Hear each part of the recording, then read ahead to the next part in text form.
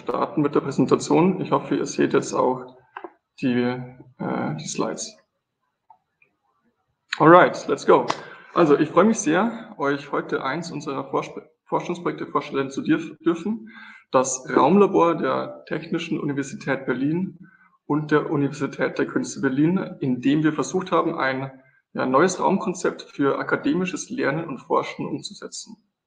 Ich bin Johannes Pointner. Ich bin wissenschaftlicher Mitarbeiter bei New Practice in Art and Technology, einer relativ neuen Research-Plattform von TU Berlin und UDK Berlin. Und ich bin unter anderem für die Durchführung des Projektes verantwortlich. Ähm, ganz herzliche Grüße auch von Professor Albert Lang, dem Leiter des äh, Forschungsprojekts, äh, als auch von New Practice. Und bevor ich euch das Raumlabor zeige, bevor ich auf das Forschungsprojekt eingehe, möchte ich ganz kurz New Practice auch vorstellen, um euch den Kontext des Projekts äh, schnell näher zu bringen. Ähm, akademische Bildung sieht sich heute durch einen interessanten technologischen und gesellschaftlichen Wandel und auch einer zunehmend dynamischen Fächerkultur mit völlig neuen Prämissen konfrontiert. Den hochkomplexen und miteinander verbundenen Herausforderungen des 21. Jahrhunderts kann deshalb auch in vieler Hinsicht nur in multidimensionalen und transdisziplinären Ansätzen begegnet werden, die in einer gewissen Weise eine Neustrukturierung unseres Verständnisses akademischer Lehre und Forschung voraussetzen. Für uns ergeben sich daraus einige zentrale Fragen. Ähm, erstens, wie können moderne Gesellschaften technische Innovationen gestalten, die wiederum Gesellschaften verändern? Wie beeinflussen neue Technologien und gesellschaftlicher Wandel bestehende Wissensproduktion und Denkmodelle? Welche neuen disziplinären Ordnungen und Tätigkeitsfelder lassen Sie entstehen? Und schließlich, welche Perspektiven ergeben sich aus dem Aufeinander Aufeinandertreffen von Gestaltung und neuartigen Technologien für professionelle Akteure sowie die Gesellschaft als Ganzes? Wir sind also mit hochkomplexen Topologien und Fragestellungen konfrontiert, die sich zunehmend nicht mehr nur aus einer Fachdisziplin heraus beantworten lassen. Und heute sind deshalb unserer Meinung nach Ansätze notwendig, die Forschung, Industrie, Lehre und auch Gesellschaft integrieren.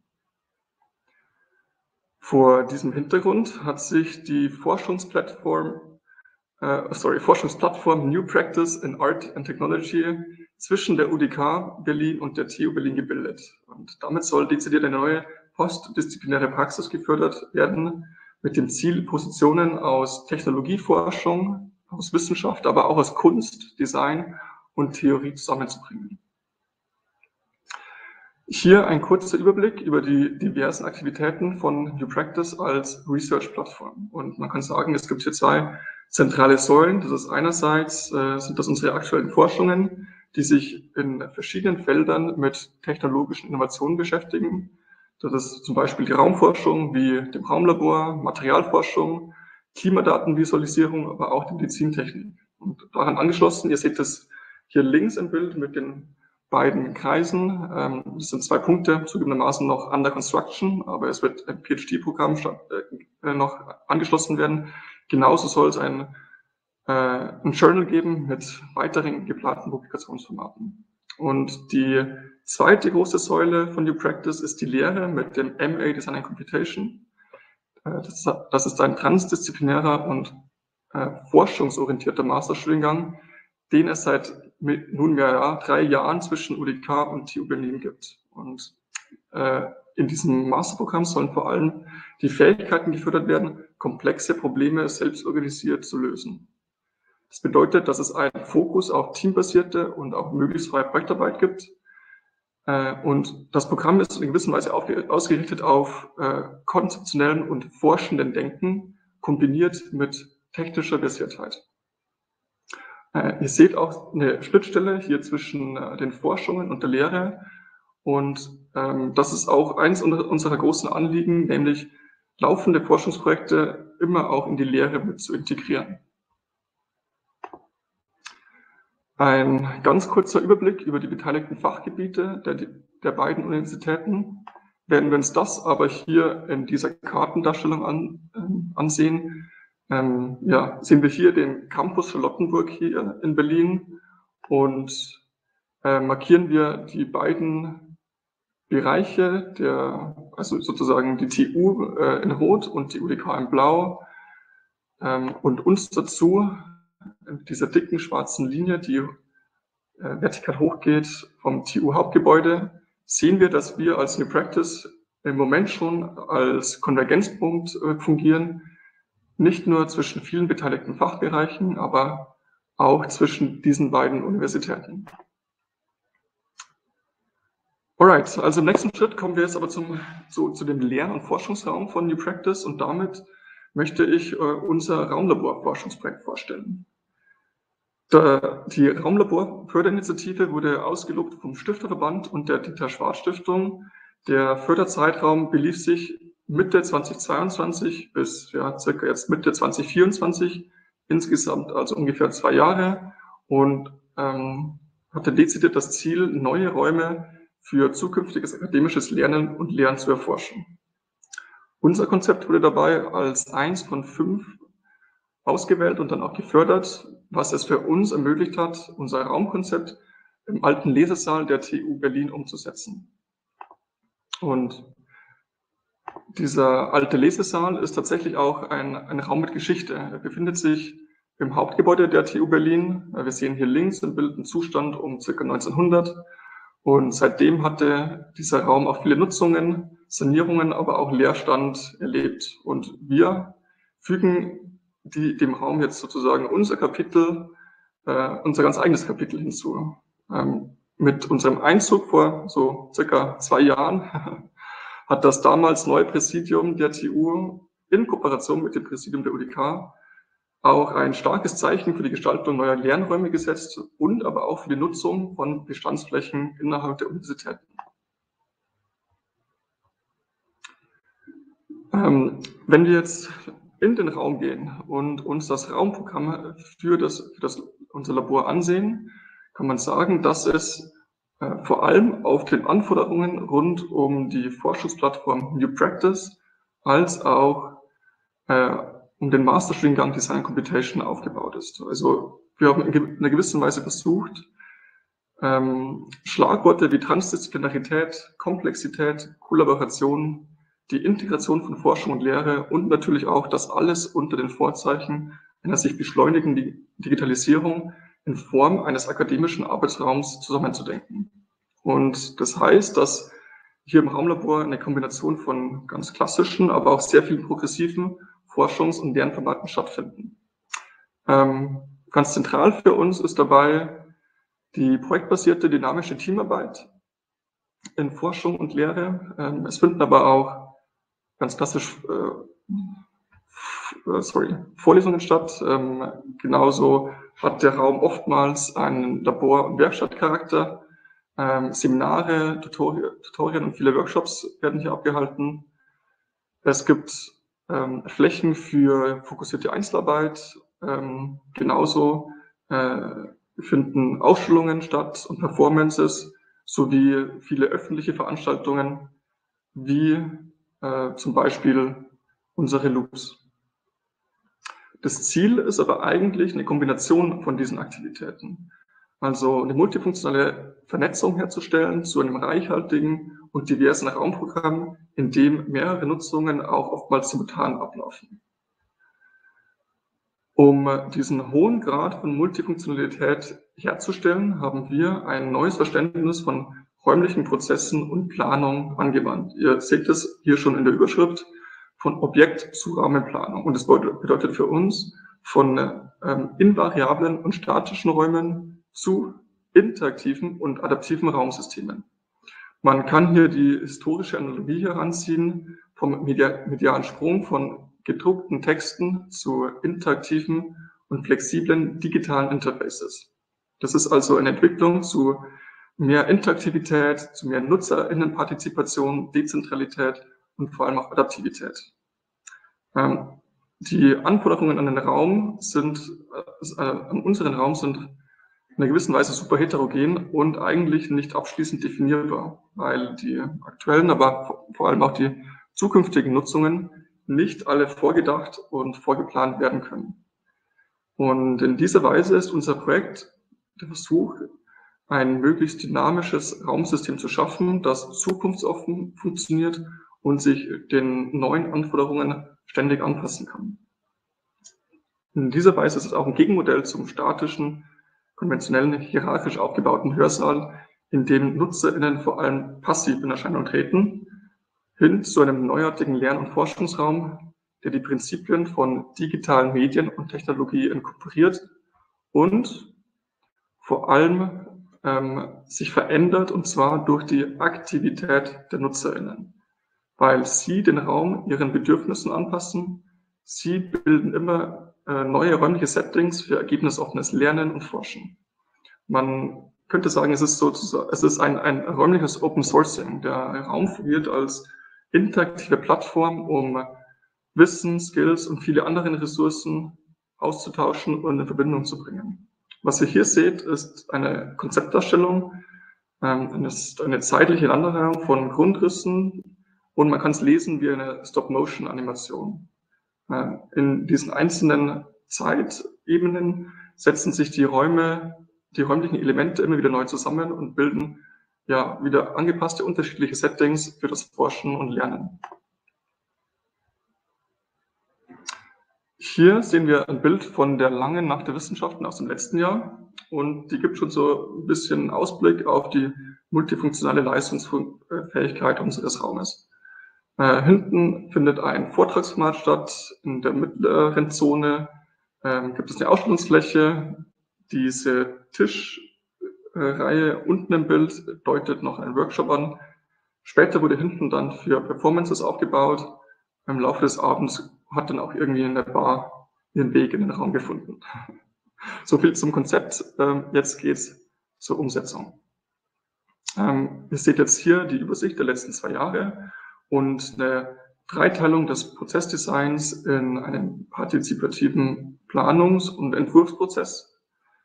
In danach folgend eine Durchführungsphase mit Datensammlung und schließlich Auswertung, die Disseminationsphase, in der wir jetzt uns äh, gerade befinden, am Ende des Prozesses. In allen drei Phasen lag dabei ein Fokus auf eine partizipative, interdisziplinäre Ausrichtung. Und es hat eigentlich nie so einen einfachen seriellen Ablauf, sondern immer eine relativ enge Verschränkung von Planung und Nutzung gegeben.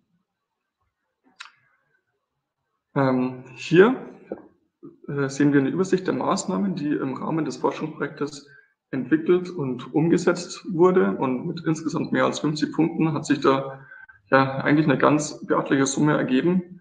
Ähm, was vielleicht erwähnenswert ist, sind die unterschiedlichen Kategorien dieser Maßnahmen. Also von links ähm, physisch-architektonischen Maßnahmen, also die Herstellung und Planung von Möbelelementen, ähm, Einrichtung von Sonnenschutz und äh, Optimierung von Belichtungssituationen, hin zu äh, dann in der Mitte diese orangen Linien hin zu digitalen Anwendungen, die wir für den Raum spezifisch entwickelt haben. Genauso aber dann äh, Veranstaltungen oder programmatische Maßnahmen wie ähm, Evaluations- und Partizipationsformate oder die Weiterentwicklung von curricularen Lernformaten auf Basis unserer Raumlaborprinzipien und die eigentlich äh, ganz neue Konzipierung von, äh, von neuen äh, anderen Veranstaltungsformaten. Und diese ähm, Bandbreite spiegelt in, in einer gewissen Weise auch unser Raumverständnis. Also es geht nicht nur um die Gestaltung eines innovativen hybriden Lernraums, sondern wir versuchen einen holistischen Ansatz umzusetzen, in dem komplementär zum Raum auch neue Lern- und Partizipationsformate mit implementiert werden. Ähm, darüber hinaus haben wir ein aktivitätsbasiertes Zonemodell entwickelt und umgesetzt, das den vielen heterogenen Nutzungen ja einen flexiblen, aber dennoch strukturierbaren Rahmen geben soll. In Zone 1, ähm, das ist so diese, diese, ja, der Hauptteil des Raumes, äh, das ist die größte Fläche, ja, mit äh, höchster Flexibilität und Multifunktionalität und darin sind Nutzungen nicht vorgeschrieben. Und sie wird vor allem benutzt für kollaborative Teamarbeit und viele Lehrveranstaltungen finden ja statt. Zone 2 ist mehr gedacht für fokussierte Einzelarbeit. Ähm, es gibt da eine Insel, äh, eine Tischinsel mit Hochleistungs-PCs und genauso ähm, auch eine Galerie, die den ganzen Hauptraum bezieht, eine Tischzeile mit weiteren, ja schon ausgestatteten Einzelarbeitsplätzen. Schließlich Zone 3, eine Ruhezone, die auch jeder Arbeitsraum braucht für Regeneration und auch einen lockereren sozialen Austausch. Und ja, die Grundbausteine dieser dynamischen Raumkonfigurationen bilden mobile Möbelelemente. Äh, die wurden als interaktiv modulares System von uns in einem partizipativen Entwurfsprozess geplant und hergestellt. Es handelt sich da um Tische, Stühle, verschiedene Arten von Trennwänden, Stromverteiler äh, und weitere Objekte, ähm, die haben so sehr funktionalen Charakter und infrastrukturellen Charakter, wie Stromverteiler oder im Hintergrund des, äh, in der hinteren Zone des Raumes ein Storage-System, das äh, unter anderem auch diese möglichst freie Bespielung dieser großen Fläche davor gewährleisten soll. Und das ist für uns in einer gewissen Weise ja das exemplarische Beispiel für die zuvor erwähnte Rahmenplanung, also die Gestaltung von Handlungsoptionen im Raum. Die NutzerInnen werden dadurch die Interaktion selbst zu GestalterInnen des Raums und schaffen für sich individuell angepasste räumliche Situationen. Ähm, ja, als Beispiel kann man sagen, äh, dass, oder könnte man erzählen von einem Projektteam, das ins Raumlabor kommt, äh, sich Möbel zusammenstellt, sich Devices und andere technische Ausstattung hinzufügt, ähm, vielleicht ein Whiteboard noch an die Trennwand hängt und sich so eigentlich einen sehr individuellen Forschungsraum äh, arrangiert hat. Für eine Lehrveranstaltung wie ein Seminar werden die Möbel dann ähm, schnell zu einem U, einem Kreis oder zu Gruppentischen arrangiert. Ähm, und diese Flexibilität des Raumes stimuliert Lehrende auch in einer gewissen Weise so ein bisschen of the box zu denken und mit den mit neuen Lehrformaten innerhalb des Raumes zu experimentieren. Hier sehen wir einen ganz kurzen Überblick oder einen Überblick, einen Eindruck über die sehr unterschiedlichen Zustände, die der Raum auch einnehmen kann. Vielleicht deutlicher wird es hier in der nächsten Slide, in der wir ja auch eine exemplarische Woche, die aber tatsächlich so stattgefunden hat, sehen in den in fünf sehr unterschiedlichen Zuständen. Äh, die Woche hat da gestartet mit einer Lehrveranstaltung, Vorlesung und im anderen Teil, Teil des Raumes Teamarbeit. Am Tag darauf wurde der ganze Raum dann für Master-Endpräsentationen umgestaltet und hatte dann plötzlich einen Ausstellungscharakter äh, mit Performances und Präsentationen.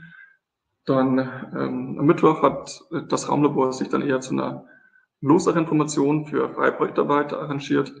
Und ähm, am Donnerstag, wie meistens am, am Abend, wurde, äh, hat ein Loop stattgefunden, also eine, eine öffentliche Veranstaltung mit vielen Gästen und der anschließend ein Bar. Und am Wochenende gab es tatsächlich einen Hackathon mit über 50 Teilnehmenden. Ähm, darüber hinaus haben wir auch eine ganze Reihe von digitalen Tools entwickelt, um einen ja, digital erweiterten und hybriden Lernraum herzustellen. Wir haben dafür, ähm, das ist das einzige Tool, das wir nicht entwickelt haben, wir greifen da auf Discord zurück. Ähm, wir haben da eine, eine Kommunikationsplattform, die äh, für die räumlichen Prozesse sozusagen ähm, fungiert und ähm, in einer gewissen Weise so eine Art von Local Social Media, wo spontanes Chatten, Videocalling und so weiter ist. Ja, man kann sagen, die Basics des digitalen kollaborativen Arbeitens. Dann ähm, haben wir ein Raum-Wiki sozusagen erstellt, äh, das ähm, wie eine interaktive und kollektive Wissensplattform fungiert, die direkt mit dem physischen Raum verknüpft ist. Also es gibt ein kollektiv gepflegtes FAQ zum Beispiel zur Raumnutzung, es gibt einen von allen bearbeitbaren Kalender für die zeitliche Organisation des Raumes. Es gibt ein äh, Online-Inventar mit Buchungssystem, um die Nutzung von Devices und Equipment kollektiv zu koordinieren. Ähm, und hier ein ganz interessantes Feature ist, dass jeder Inventargegenstand auch seine eigene Wiki-Seite mit QR-Code hat. Man sieht es hier schon angedeutet. Wenn jemand zum Beispiel also einen 3D-Drucker benutzt, ähm, kann er den, den QR-Code scannen, der auf dem Gerät geklebt ist und kann dann spezifische Informationen für dieses individuelle Gerät einpflegen. Also wie zum Beispiel ein Tutorial oder was man, auf was man achten sollte, ähm, um dann der nächsten Person die Nutzung zu erleichtern. Die Digitalisierung von Lernräumen bedeutet für uns nicht nur, dass einfach immer mehr Technik in den Räumen äh, sich befindet, das schon auch, davon gibt es bei uns auch sehr viel davon, aber wir stellen uns immer die Frage, wie räumliche Prozesse sinnvoll durch Technologie unterstützt ähm, und erweitert werden können. Und das funktioniert in beide Richtungen, also einerseits durch die Virtualisierung von physischen Prozessen wie Digital Twins, diesem Local Social Media oder dem Streaming ähm, von Events und äh, vielen ähm, Prozessen, die hier stattfinden, genauso aber die, das Zurückbringen von virtuellen Informationen in den physischen Raum durch zum Beispiel das QR-Code-System oder äh, einige Infoscreens im Raum, um auch die dynamische Contents mit wieder in den, in den physischen Raum zu bringen. Ähm, kurzer Einblick auch in die Evaluation, die wir durchgeführt haben. Ähm, wir haben da einen Mixed Method Ansatz gefahren, also eine Kombination von quantitativen und qualitativen Evaluationsmethoden. Ähm, die erstrecken sich dann dementsprechend von Fragebögen, also dem systematischen Befragen von Studierenden und Lehrenden, ähm, einer räumlichen Datenerhebung mit Bewegungsprotokollen und Videografie. Wir haben auch ein Hybrid Mapping äh, durchgeführt, das ist eine experimentellere Methode zur Kombination von unterschiedlichen räumlichen Daten und vor allem auch eine Raumethnographie durch ähm, einen unserer Mitarbeiter, Dr. David Joscha Schröder, einem Postdoc aus der Raumsoziologie der TU. Und er hat vor allem ausgiebige Interviews mit den NutzerInnen und Beobachtungsanalysen durchgeführt. Seine Methode war dabei kollaborativ, das heißt, dass Zwischenstände und Ergebnisse in Workshops immer, in Workshops immer wieder partizipativ diskutiert wurden. Und sie war auch raumsoziologisch, das heißt, hatte einen Fokus auf soziale Muster und Abläufe im Raum.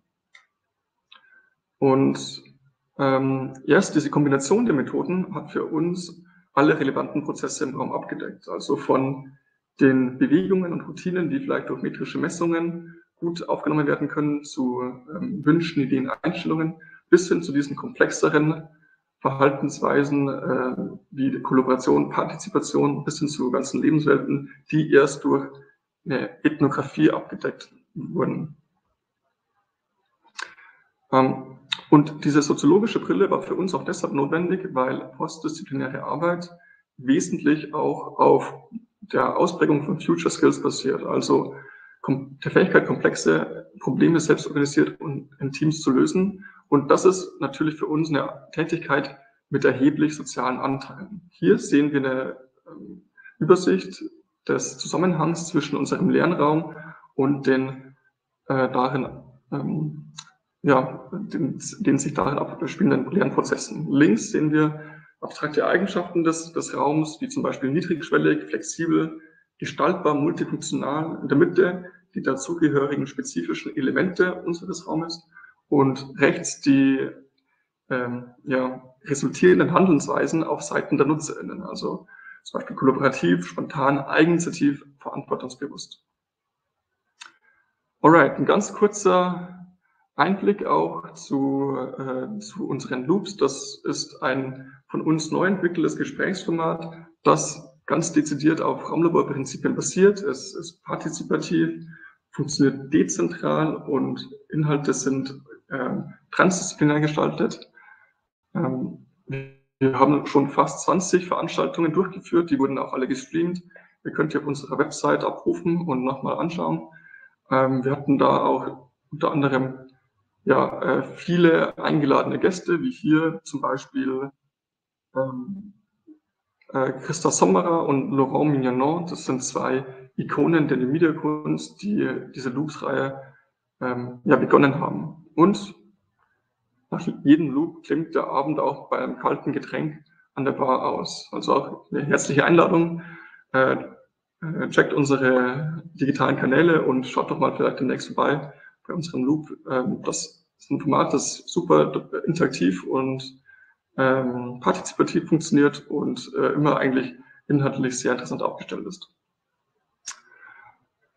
Okay, wenn wir jetzt kurz nochmal zu dieser Übersicht des Campus zurückkommen, ähm, könnte man auch in gewisser Weise sagen, dass sich dieser Raumlaborgedanke ähm, auch auf den Maßstab der Universität äh, weiterführen lässt. Durch die vielfältigen Aktivitäten und Formate von Practice nämlich entsteht ein gemeinsamer Raum einer neuen gemeinsamen Praxis.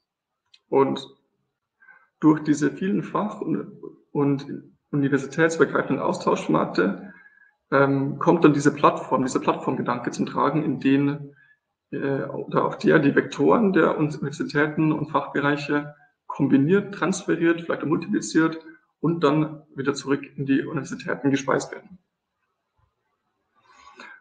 Okay, das war's von meiner Seite. Vielen Dank für eure Aufmerksamkeit. Ähm, ich habe mich sehr gefreut, euch diesen kurzen äh, Einblick in unsere, in unsere Prozesse gewähren zu können. Ähm, danke von meiner Seite. Vielen, vielen lieben Dank auch von meiner Seite. Ich beende